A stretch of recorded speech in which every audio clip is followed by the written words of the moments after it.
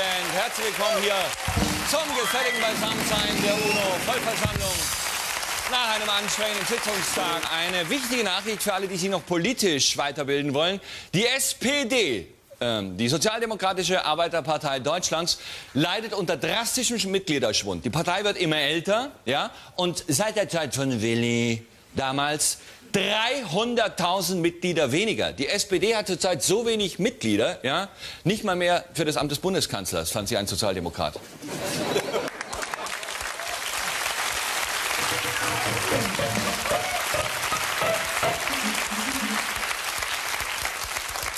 Noch schlimmer ist es bei der PDS. Äh, heute aktueller Mitgliederstand 172 und äh, früher waren es mal 17 Millionen.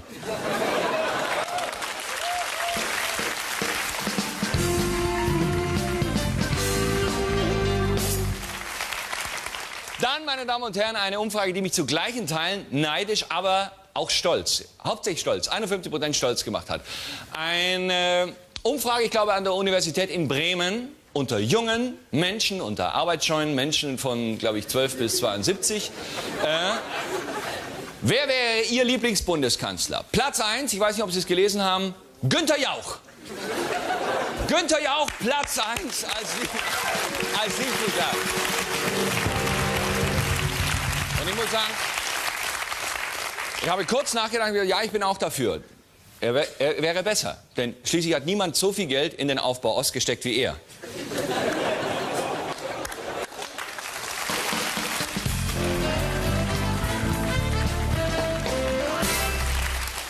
Äh, der Kanzler hat sich sehr viel von Günther Jauch abgeschaut. Wenn Sie mal scharf nachdenken, werden Sie feststellen, stimmt, schon zur Hälfte seiner Amtszeit hat er im Kabinett den 50-50-Joker gezogen. Zellen und Band.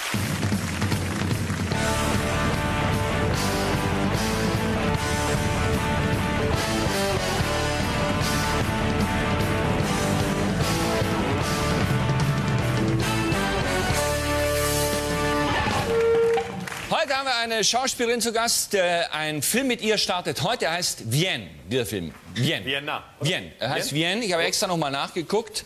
Er heißt Vienna. Er heißt Vienna. Ich dachte Vienne. Vienna. Vienna. Vienne. Er spielt in Wien, glaube ich. Ja. ja. Und heißt Vienna. Und sie kommt aus Ungarn. Sie spricht glänzend Deutsch, obwohl sie bis vor zwei Jahren noch kein Wort Deutsch gesprochen hat. Unglaublich. Ja, zum ersten Mal bei uns und natürlich mit diesem tollen ungarischen Akzent, der für mich als Operettenfan natürlich. Gräfin Maritza, Joi Mama, ich denke oft an Piroschka. Hast du es einmal gesehen, diesen Film? Nee, ich kenne es eigentlich nur durch Aus meinen Schilderungen. Erzählung, Ja. Sollst mich doch Piris sagen. Wir, die älteren Menschen, haben diesen Film gerne oft gesehen, immer dann, wenn Sissi nicht kam. kam, ich denke oft an Piroschka. Heute haben bei uns Erika Maroschan.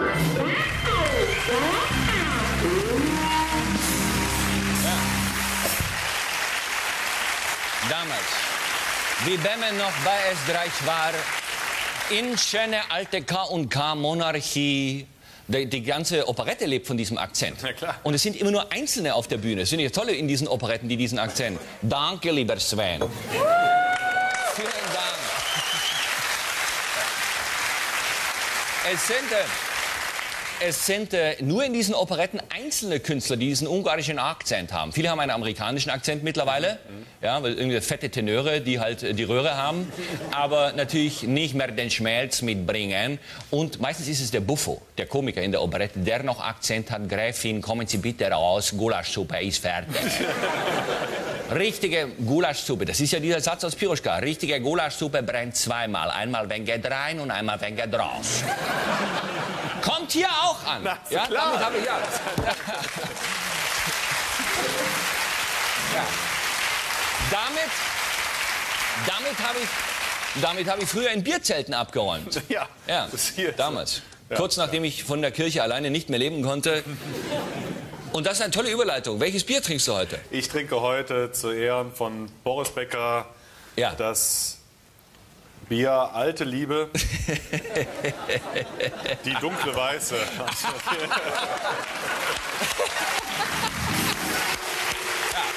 Boris Becker.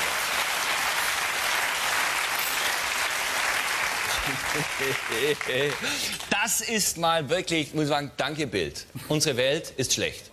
Nicht überall, ja, aber überall dort, wo sagen wir, amerikanische Freunde nicht dafür sorgen können, dass sie besser wird. Genau, Ja? ja. So. Und, und dort ist die Welt aber sehr schlecht. Es kommt zu unschönen Zwischenfällen. Aber heute eine Titelseite von Bild, die ans Herz geht, wo man weint und wo man sagt, eigentlich wünscht man sich nur eins, dass man, dass man das selber auch mal erleben darf. Ja, ja. genau. Denn das war heute die Schlage Bild. Ich bin Boris erste Liebe. 17 Jahre war es ihr großes Geheimnis. Was muss diese Frau gelitten haben? Oder? 17 Jahre.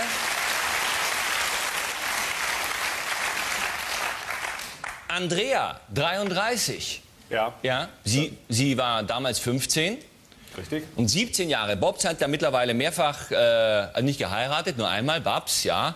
Aber dann Aktion Wimbledon und so weiter. Und alles hat diese Frau stumm erlitten und jetzt bricht sie ihr Schweigen.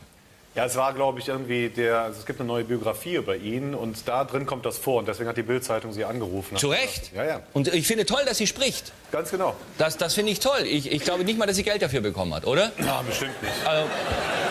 Ich glaube, es ist ihr Wunsch, einfach zu sagen, ja, ich bin Boris. Hier drin ist auch ein Foto, äh, wie sie früher aussah, als Boris äh, auf sie abgefahren ist. Hier. Ja, so sahen Frauen damals aus. Das ist sie heute. Was studiert sie? Äh, Soziologie? Soziologiestudentin, Sozi- eine- eine- 33 Jahre, ja. Eine junge, moderne... Eine junge, moderne, 33-jährige Soziologiestudentin. Hier ist die Komplettaufnahme. Ich finde auch, sie hätte Boris besser zu Boris gepasst als manche von den anderen Schlampen, die er genagelt hat. Hier. Und so.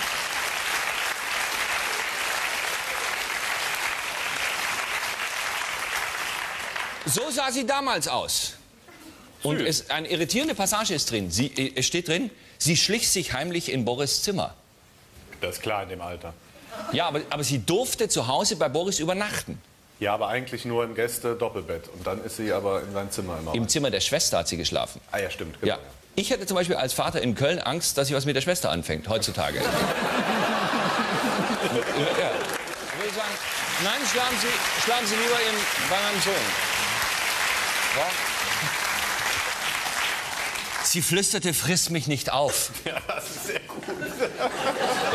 Hier, fli- friss mich. Boris war, er hatte so einen großen Mund damals. Ja, ja. Der hat doch immer noch, oder? ersten Kussversuche. Äh, hallo. äh,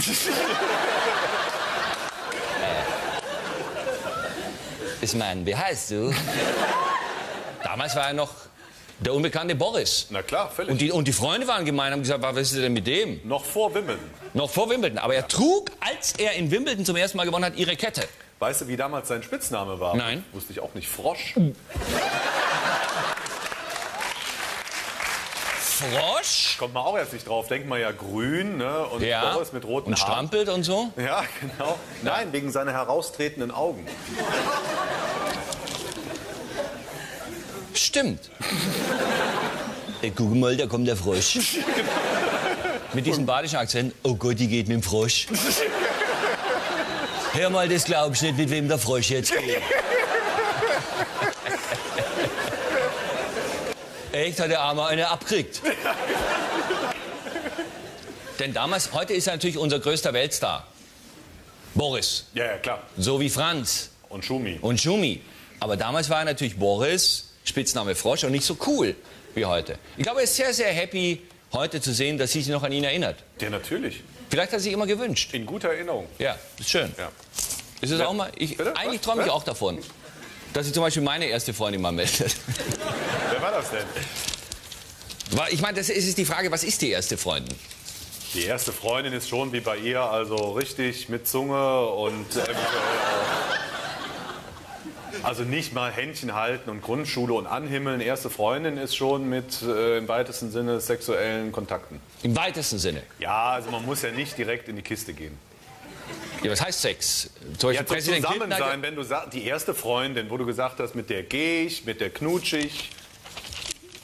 Also meine, meine erste Freundin hieß Karin, Karin, Mhm. wie alt? 16. Und du? 30, nein.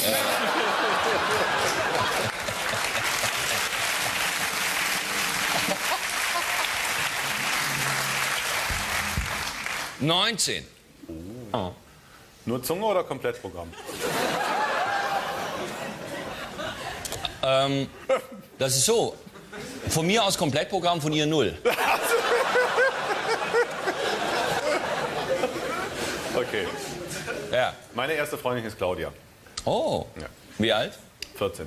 Und du? 16. Oh, und das ist eine andere Generation natürlich schon. Ja, naja. Ja, und natürlich eine Großstadt wie Köln. ja, aber doch mal Helmut, das ist doch bestimmt irgendwie noch Wieso? früher, oder? Wie alt warst du bei deiner ersten Freundin? 16, Auch. Und sie? 15. ja, Wie hieß sie? Dominik.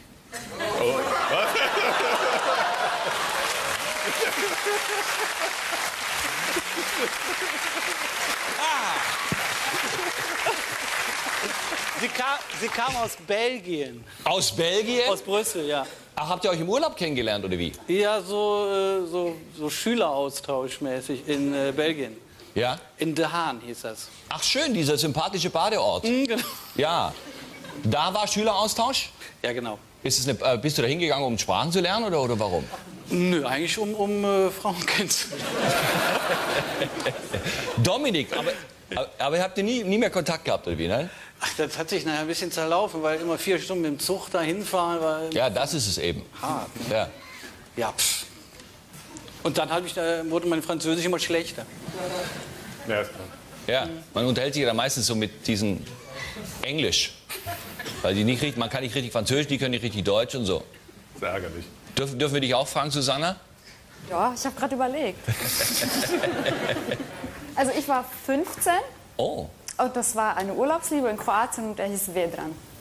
Svet, ein, ein Kroate. Ja. Wie alt? Aber lebt in Deutschland. Er war drei Jahre älter, glaube ich. 18. ja. Ich stelle fest, dieses, dieser Altersunterschied Frauen damals. sind immer jünger, ne? Frauen, ja, damals. Bei Boris Ja. sie 15, äh, er, er 17, sie 15, bei dir 19, 16. Ja. Aber es sind auch viele so, die, die zum Beispiel mit, mit einer 70-Jährigen zum ersten Mal Kontakt haben. Wegen der Erfahrung. So, ja. so, so äh, äh, Pianistengenies. Das hat man häufig. So, so russische Genies, die mit, die mit fünf können sie alles auswendig und äh, mit zehn kombinieren sie selber. Und die sind dann mit 70-jährigen Frauen oft zusammen. Wo die Welt rätselt, aber es ist äh, irgendwie, Die Tanten. ja, irgendwie so mit, äh, kriegen auch Schläge, wenn sie falsch spielen. Also, es ist eine andere Welt, die Welt der Kunst. Aber keiner hat mehr Kontakt. Aber es wäre doch schön, wenn Sie mal, also ich schlage jeden Tag in die Zeitung auf, ob nicht mal eine frühe Freundin sich meldet. Ja, ist auch schön.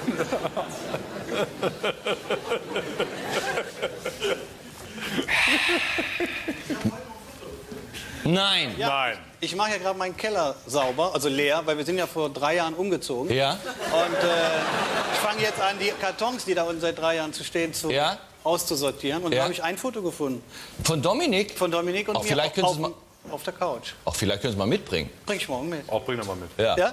Total süß. Ich habe kein Foto mehr von Karin. Oh. Leider. Ja, ich habe schon eins, aber das kann man jetzt nicht einfach zeigen. Oder? Nee, das ist ja, man muss ja den Persönlichkeitsschutz dieser Damen, die Ich vielleicht meine, heute. Dominik ist in Belgien, das ist ja aber. Äh, Ja, was ist Belgien heute? Das ist ja im Grunde alles eins durch die EU. Ja, aber aber man weiß ja nicht ob, ja nicht. ob diese Damen nicht vielleicht jetzt mittlerweile mit dem Bundeskanzler verheiratet sind Ja, oder genau. was weiß ich. Nee.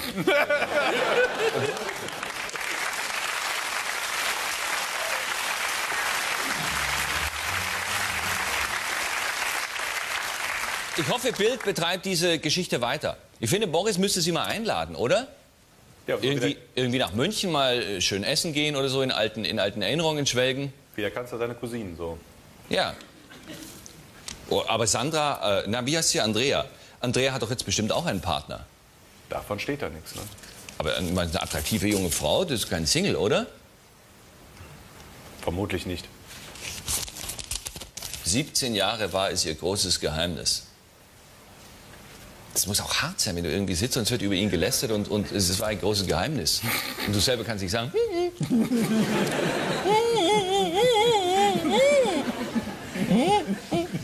Wie damals Konikova. Genau.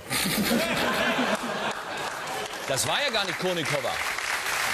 Wie heißt sie? Ermakova. Ermakova. Ermakova. Ermakova.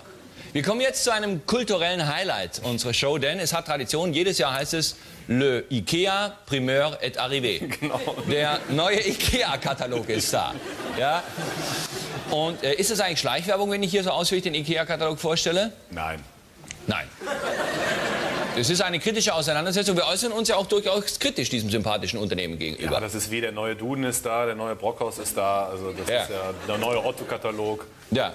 Der neue IKEA-Katalog, das hier ist er und es gibt einen neuen Trend. Wir haben schon kürzlich ausführlich gewid, äh, gewürdigt Letter, ja, die erotische, äh, das erotische Streichfett.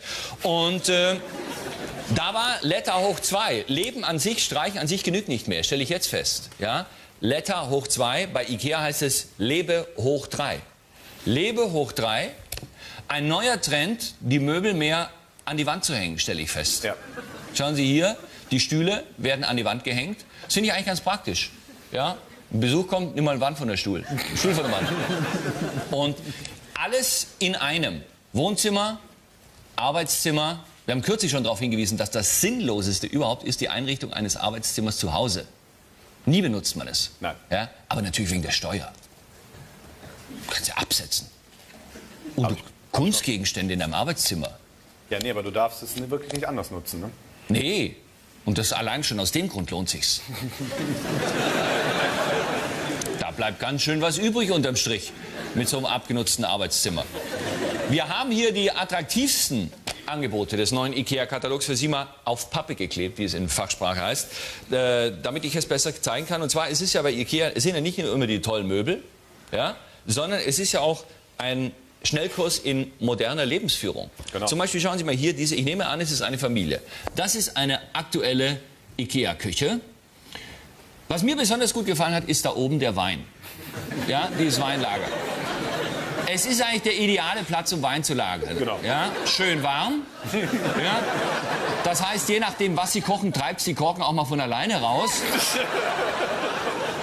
Und, das weiß natürlich ich als Hausfrau, es lagert sich ein sympathischer Fett- und Schmutzfilm auf den, auf den Flaschen ab, Genau. wo man unbedarften Gästen sagen kann, das ist ein ganz alter Jahrgang. Das ist alles eingesungen.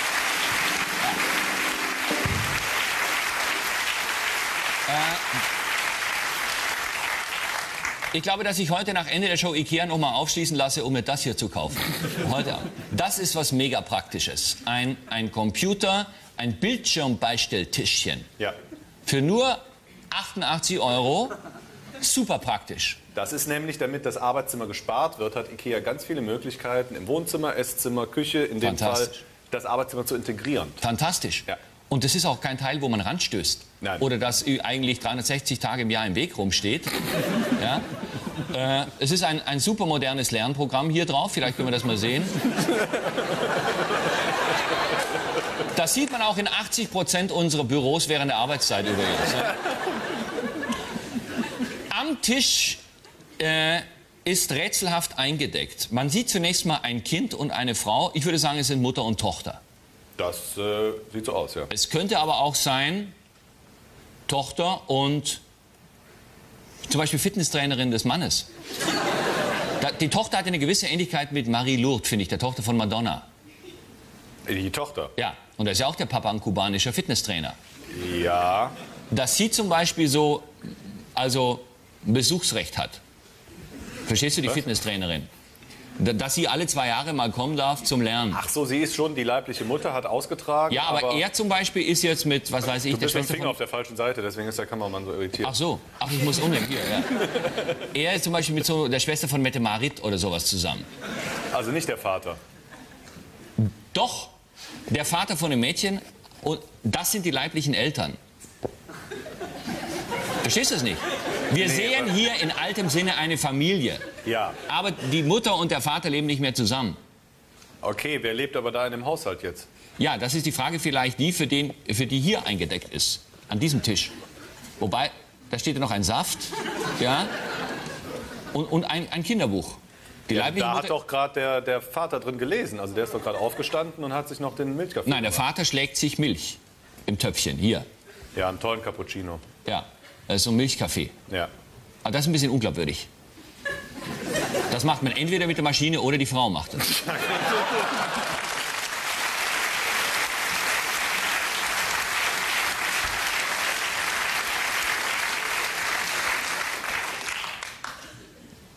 Oder sie ist das Kindermädchen. Oder es ist das Kindermädchen. Aber wahrscheinlich ist es doch eine ganz normale Familie. Oder sie ist das Kindermädchen, das verbotenerweise einen Freund mitgebracht hat. Das könnte sein. Ja, das, das ist eine sehr, sehr gute Idee. Es ist das Kinder, und zwar so, es ist eine ganz moderne Familie, ja. Die Eltern sind äh, über das Wochenende nach, äh, nach Toulouse gefahren, weil die Mutter dort eine Ausstellung eröffnet. Okay. Die Mutter malt und man hat gesagt, mach erst mal Toulouse, Paris, das kriegen wir noch. Ja. So, und Consuela, das Kindermädchen, hat Jean-Claude, den französischen LKW-Fahrer, mitgebracht, der aber äh, natürlich, weil er sich nicht auskennte, dieses Milchrührgerät nicht findet. Oder als Franzose gar nicht weiß, dass es sowas gibt. Deswegen. Er, er macht es mit dem Schneebesen. Mit dem Schneebesen. Tolle Küche, moderne Familie, Wunderbar. ein Traum. Äh, wer es in der Küche ein, lieber ein bisschen rustikaler hat, diese Küche, die ich jetzt Ihnen zeige, sieht auch ein bisschen, wie soll ich mal sagen, ernährungsbewusster aus. Ja? Das ist halt ohne Kinder. Noch. Ist sie schwanger? Vielleicht sind die Kinder weg. Ich sehe gerade hier dieses Teil hier. Das ist der Traum äh, der modernen Küchenbesitzerin. Alles offen. Hier. Schau hier unten. Äh, das kleine hier. Rechts, rechts. Halt, heiß, höher, halt, hier. Das, das ist der absolute Traum. Alles offen, nicht diese spießigen Einbauküchen, wo alles zu ist. Ja. Auch ideal, hier findet der Fettfilm sein Zuhause. Und es ist immer so, wie du es in, in diesen Spitzenküchen äh, siehst, wo, wo die Starköche Brandblasen auf den Händen haben, weil sie so cool das Fett reinschmeißen und so, wo dann einfach ohne hinzugucken unten die Pfanne rausgeholt wird, zack, boom, die richtig abgewogene äh, Hummermenge klein gehäckselt und so draufgeschmissen und so. Und so will man kochen heutzutage. Eigentlich fehlt mir hier noch in dieser Küche, dass der Herd in der Mitte steht, wo Freunde drumherum sitzen. Oder? Hast du das nicht bei dir zu Hause? Das wird nächste Woche umgebaut. Hast du das? Nein. Ja? Wäre viel zu klein, die Küche. Ich habe doch, also. Ja, stimmt. Naja, was man halt auf 40 Quadratmeter insgesamt so unterbringt. Ähm, insgesamt ist die Küche, glaube ich, eher was für, für Paare, die auch gerne Dialoge führen. Man nennt das auch Pantry, glaube ich. Ja. ja. Und hier diese Geräte, die werden sehr viel benutzt. So Spargel schneiden, Parmesanreibe. Stellt sich auch nie die Frage, wer soll das sauber machen. Genau. Und wa- was ist denn das hier? Ist das ein Spargelaufbewahrer? Das habe ich noch gar nie gesehen, ja? Wo? Das hier. Das da. Ach, stimmt. Ein Einsatz? Was heißt das? sind ja nicht. Und ähm, damit das eben nicht unten auf dem Boden festklebt, ist das in diesem Netz drin, in diesem Köcher. Also ein tolles Gerät, das nur wieder mal meiner Ignoranz und, äh, und Ungebildetheit zum Opfer Man gefallen ist. Spargel. Man dämpft Spargel. Ich mag keinen Spargel. Nee? Nee. Du? Doch. Ja. Ja? Schön Nee. grünen Spargel mit Parmesan. Hm. Ja, nee, gut, wer es mag. Also ich mag es nicht. Aber ich würde nie jemanden zum Beispiel reinreden und sagen, wieso isst du Spargel und so. I oder was? Nee. Nee, Ich mag ja keinen Spargel. Ja, ist okay. Lang genug welchen gestochen, um durchzukommen. So, äh, jetzt.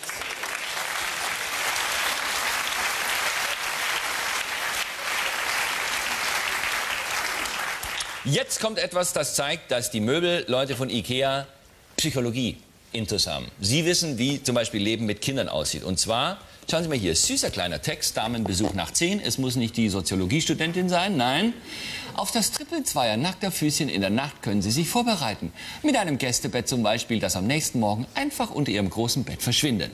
Das heißt, was gibt es Schöneres für junge Eltern, als wenn klick erstmal die Klinke aufgezogen wird, dann geht die Tür auf und dann trippeltrappel, trippeltrappel, kommen um 5 Uhr morgens kleine Füßchen mit einem Kind dran selbstverständlich, ja, und kuscheln sich zu Papi und Mami ins Bett. Klar.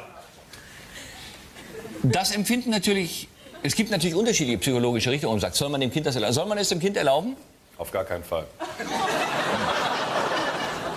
Nie, hart, ganz hart, raus.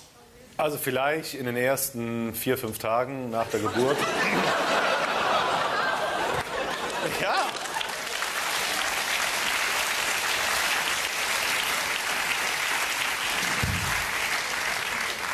Die Argumentationskette ist immer die gleiche. Ob das jetzt paar Wochen alt ist, paar Monate, paar Jahre, es schläft halt am besten da und man kriegt es nie mehr aus der Mitte raus. Das ist es. Ja. Also knüppelhart von Anfang an zurückbringen, das Kind. Ja, ich kenne viele Ehepaare, elf Jahre ist das Kind, schläft immer noch zwischen den Eltern. Ja, wie? I? Viele sagen ja, die Frauen wollen das, weil sie nach der Geburt keinen Sex mehr wollen. Das kann für die Gründe sein. Das ist so. Was, diese These gibt es? Ja, hat zuletzt eine Kollegin noch äh, an mit. Wieso werde ich bei solchen Gesprächen nicht hinzugezogen? Ja, Wieso? Wieso erfahre ich das nicht?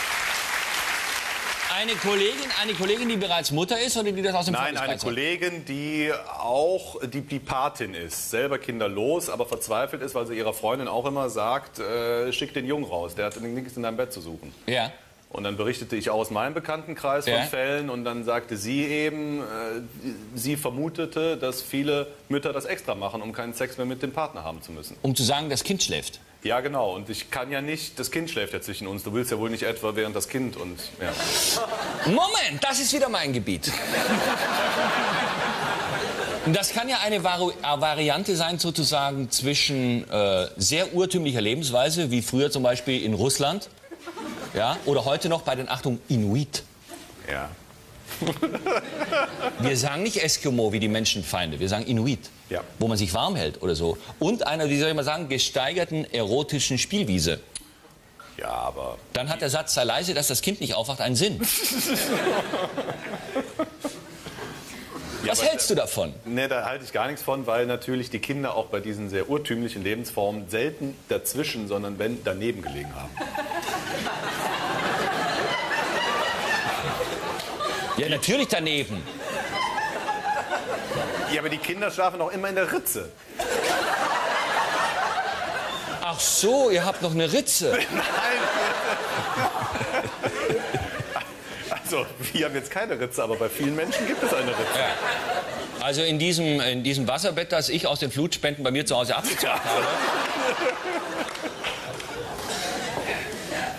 Es funktioniert auf jeden Fall nie im Leben, dass du ein Bett äh, unten vorziehst und dem Kind, das morgens ankommt, sagst, leg dich in das Bett. Das gibt ein solches Gequengel und Geschrei. Ja, natürlich, das ist es ja. Weil das Kind will natürlich zu den Eltern ins Bett. Na klar. Kein Kind kommt morgens ins Schlafzimmer, um sich in ein, ein Gästebett da zu legen. Natürlich schläft dieses Kind hier alleine. Warum eigentlich? Wo sind die Eltern?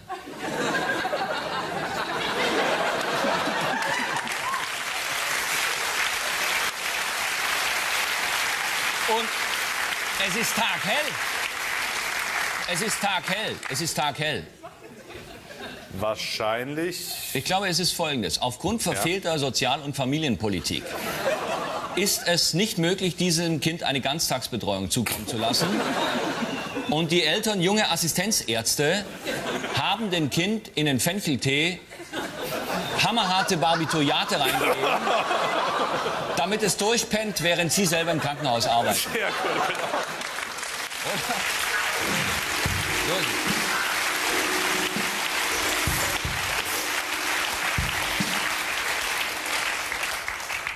Alles in allem kann man sagen, der neue IKEA-Katalog besser denn je. Ja, Fantastische Möbel. wendet sich an die Hauptziel. Gruppe, Gruppe, 30 Somethings. Junge Familien, Patchwork-Familie, Genau. Single, multikulturelle Lebenseinstellung. multikulturelle Ganz wichtig. Ja. ja. Also, Da sind dunkelhäutige Jungs mit Krone drauf, die stricken drin. hier im Katalog, Ja, finde ich das so schnell? Nein. das ist sehr PC, irgendwie um Seite 300 rum. Um Seite 300 sind dunkelhäutige Jungs, die stricken.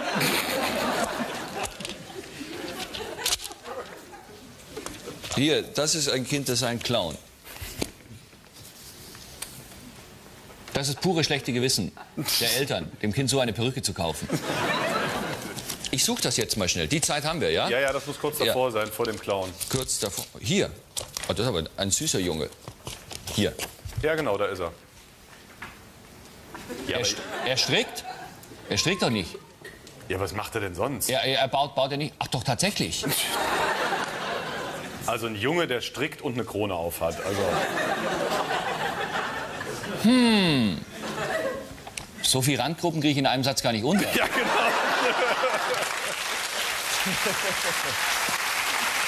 Toll. Auf zu Ikea.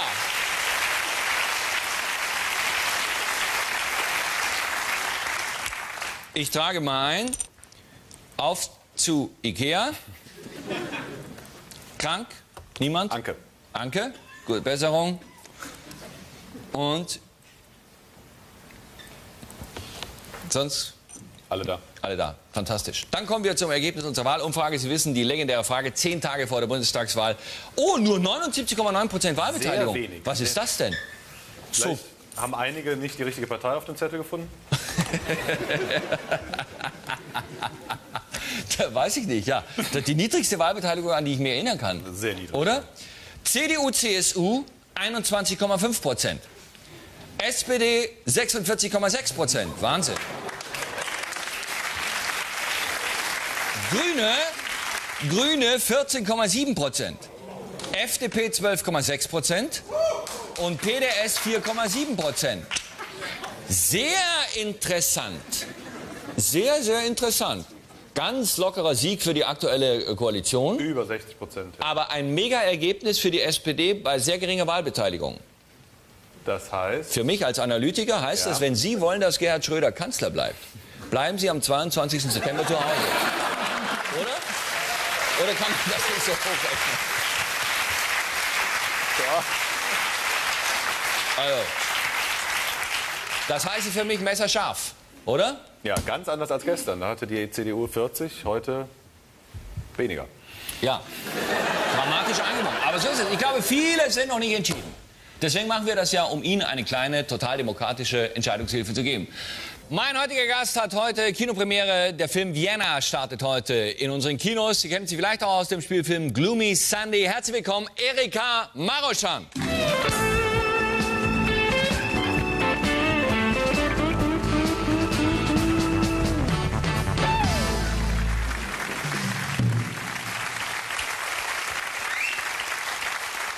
Ich freue mich sehr, dass Sie hier sind, weil wir haben so gut wie nie Gäste aus Ungarn. Ich freue mich auch. Ja, Ich und, hab- und ich finde das toll, wie, äh, wie perfekt Sie Deutsch sprechen. Und, und haben Sie wirklich erst vor zwei Jahren gelernt? Genau, genau. Nach dem Film Gloomy Sunday habe ich Ja. angefangen, Deutsch zu lernen und das war zweieinhalb Jahre her. Das ist erstaunlich. Wo, wo haben Sie das gelernt? Also erstmal an der Goethe-Institut hier in Deutschland. Ich Ja. habe nur in Deutschland Deutsch gelernt. Ja. Und ähm, danach einfach aus der Straße. Also ich, ich höre zu und ich, äh, ich, ich versuche ähm, möglicherweise viel ähm, kommunizieren und Ja. dann ich lese auch sehr viel in Deutsch. Und haben Sie sich in Situationen begeben, um das, um das testen zu können, wie das funktioniert mit dem Deutschen oder um, um Umgangssprache zu lernen? Ähm, ja, also im Café, Restaurant. Äh, und ich habe auch viele äh, Freunde, Freunde zwischenzeit in Deutschland. Und Wo, wo Sie das Die verbessern ja, mich. Aber ich finde diesen Akzent so toll. Wissen Sie, dass das in deutschen Operetten immer der ungarische Akzent so äh, nachgemacht wird? immer noch Ja. so spielen wird. Äh, ja, also ich, ich kenne äh, zum Beispiel Marika Röck nur von hier äh, aus Deutschland. Die kennt man in Ungarn gar nicht? Doch, Doch. doch, schon, aber, aber wird nicht so viel äh, von, wahrscheinlich von ihr äh, gesprochen als hier in Deutschland. Ja gut, jetzt hier mittlerweile auch nicht mehr so viel. Aber, aber sie war, das ist richtig, sie war eigentlich so die Parade-Ungarin, die man, die man so vom Akzent kannte. Leben Sie noch in Budapest? Ja. ja. Wie, was ist Budapest heute für eine Stadt? Also, ja, also mein Herz ist klopft, wenn ich äh, von Budapest rede, aber muss ich äh, schon ähm, äh, also muss ich schon sagen, dass, dass es immer noch ein bisschen verfallen, äh, Stadt immer noch so glänzend aussieht wie, wie die, die Großstädte in, in äh, Europa, aber hat eine bestimmte Charme und äh, die Leute sind ganz nett und, und die, die machen auch viel Spaß. Äh, Also man sagt ja mal, Budapest, das wäre das Paris des Ostens. Ja? ja, die Leute sagen, Ja. ja, die da waren, schon. Und hat sich, hat sich, ist die Stadt irgendwie, äh, sag ich mal, noch offener oder moderner geworden, seit, seit es den Ostblock nicht mehr gibt? Oder äh, ist das dann eher ein bisschen zurückgegangen? Also moderne schon, also viele ganz neue Kneipe auf, äh, geöffnet wurde und ähm, aber weiß ich nicht, was Modernes heißt. Ja, also dass man sich so mehr noch, noch an die westlichen Städte angleicht. Also, Schon ein bisschen, also langsam. ja. und, und sich aber diesen eigenen Charme noch eigentlich aus der K&K-Zeit Genau. bewahrt. Wird da, wird da eigentlich noch davon geredet? Nein, von der K&K-Zeit. K&K? Ja? Doch, doch, ganz viel. Ja? Ja. Aber nicht mit Bedauern oder wie, dass es vorbei ist. Ja, ja, ja. Also, ähm, ja, in die, in, also wie, wie, wie, also wir machen immer Ironie von, von allem, die Geschichte und von allem und, äh, und wir stoßen ganz, also bis, glaube ich, bis letztes Jahr oder vorletztes Jahr war 120 Jahre sollte man in Ungarn nicht mit Bier stoßen wegen Ja. unserer Aufstand gegen, ähm, gegen äh, Monarchie. Ja. Und das blieb zwei, äh, 120 Jahre lang. Eine schöne Tradition. Und jetzt ist aber, jetzt ist aber weg, ja? Jetzt kann man schon. Was ist das für eine Rolle, die Sie in diesem Film spielen? Also die ist ähm, eine Frau, die aus Ausland kommt, äh, lebt äh, auf, auf, auf dem Straße und dann wurde in einem Nachtsbar eintauch, eingetaucht. Sie taucht ein in die Nachtunterwelt. Danke. Ja? sie taucht ein in, in einen höllischen Bar und muss sie äh, prostituieren, Ja. obwohl sie keine Lust dazu hat. Und, ähm, und danach äh, geht sie trotzdem äh, ins Bett mit einem Mann und verliebt sie sich sofort in diesen Mann und der Mann rettet sie danach am Ja. Ende. Und Sie haben eine gefährliche, eine gefährliche Szene. Sie tanzt mit einer Schlange. Vielleicht können wir das mal gerade kurz zeigen. Vor Schlange? Ja. Ja, erstmal ziemlich große Angst gehabt, aber dann haben wir uns äh, ganz doll befreundet und äh, Wirklich wahr? war nicht, nicht mehr so schwierig. War, war da ein Tiertrainer mit dabei? Genau, Ja. genau. Und ich habe immer äh, zum Tier Tiertrainer geguckt, äh, ob, wie, wie er reagiert, weil ich kenne die Menschen viel besser als die Tiere. Ja. Und wer er große Angst hatte, dann wusste ich, dass was nicht. Ähm, Ach so, er hatte teilweise Angst, während, während gedreht wurde. Also ja? ich habe so gesehen, vielleicht hat er überhaupt keine Angst, aber ich, ich, ich, ich war ganz doll an ihm und ich, ich wollte einfach nur an ihm gucken am Anfang mit, mit der Schlange, aber nichts passiert. Und Ja. ich wusste auch nicht, wie gefährlich das Tier ist. Ja, klar. Eigentlich. Also, ich meine, zwar keine Giftschlange, aber trotzdem Genau. so eine Würgeschlange. ja, Ja. also Jetzt gehen Sie von heute äh, nach Frankfurt und dann fliegen Sie zurück nach Budapest. Genau. Ja? Das heißt also, Sie haben auch keine Wohnung in Deutschland oder was? Ist richtig? Nee, nee, also ich bin nur in Deutschland, wenn ich drehe oder Ja. wenn ich Deutsch lerne, Ja. dann, dann wohne ich entweder äh, während der Dreharbeit im Hotel Ja. und dann äh, bei Freunden und Freundinnen. Also Es war sehr schön, Sie mal hier bei uns zu Gast gehabt zu haben. Ein, ein Hauch von äh, Ungarn und von Budapest hier bei uns. Ja. Der Film heißt Vienna, ab heute im Kino. Vielen Dank. Danke sehr. Alles Gute und viel Erfolg Dankeschön. weiterhin. Dankeschön. Danke. Erika Maroscha, meine Damen und Herren. Das war's für heute. Dankeschön.